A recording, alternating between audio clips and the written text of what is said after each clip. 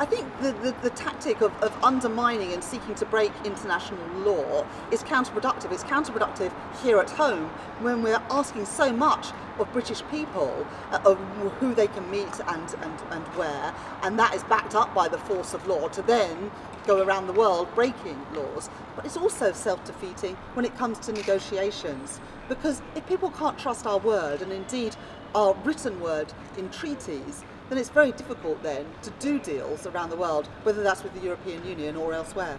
But we want the government to recognise the strength of feeling, not just in the Labour Party, but now right across the political spectrum, from Remainers and Leavers, about breaking international laws. And if the government will back down from this reckless approach, then we can look to supporting this bill. But as it stands, we'll be voting against the bill tomorrow because we cannot support the breaking of international treaties.